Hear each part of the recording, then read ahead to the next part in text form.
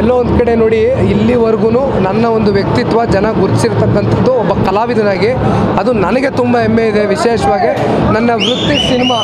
So ಹಾಗಾಗಿ ಮೊನ್ನೆ ದಿನ ಸಿನಿಮಾ ನೋಡ್ಕೊಂಡು ಬಂದ ನಂತರ ಈಗ ಬಹುತೇಕ ನಮ್ಮ ಆ್ಯಕ್ಟಿಂಗ್ ಬಗ್ಗೆ ಇರ್ಬೋದು, ಅಥವಾ ನಮ್ಮ ಸಿನಿಮಾ ಬಗ್ಗೆ ಇರ್ಬೋದು ತುಂಬ ಮೆಚ್ಚುಗೆಯನ್ನು ವ್ಯಕ್ತಪಡಿಸ್ತಾ ಇದ್ದಾರೆ.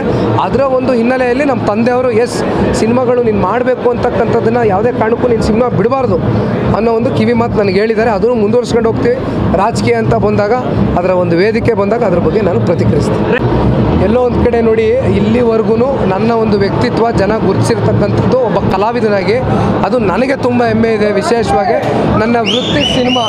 ಸೊ ಹಾಗಾಗಿ ಮೊನ್ನೆ ದಿನ ಸಿನಿಮಾ ನೋಡ್ಕೊಂಡು ಬಂದ ನಂತರ ಈಗ ಬಹುತೇಕ ನಮ್ಮ ಆ್ಯಕ್ಟಿಂಗ್ ಬಗ್ಗೆ ಇರ್ಬೋದು ಅಥವಾ ನಮ್ಮ ಸಿನಿಮಾ ಬಗ್ಗೆ ಇರ್ಬೋದು ತುಂಬ ಮೆಚ್ಚುಗೆಯನ್ನು ವ್ಯಕ್ತಪಡಿಸ್ತಾ ಇದ್ದಾರೆ.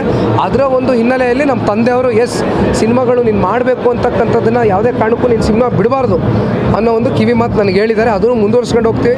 ರಾಜಕೀಯ ಅಂತ ಬಂದಾಗ ಅದರ ಒಂದು ವೇದಿಕೆ ಬಂದಾಗ ಅದ್ರ ಬಗ್ಗೆ ನಾನು ಪ್ರತಿಕ್ರಿಯಿಸ್ತೀನಿ.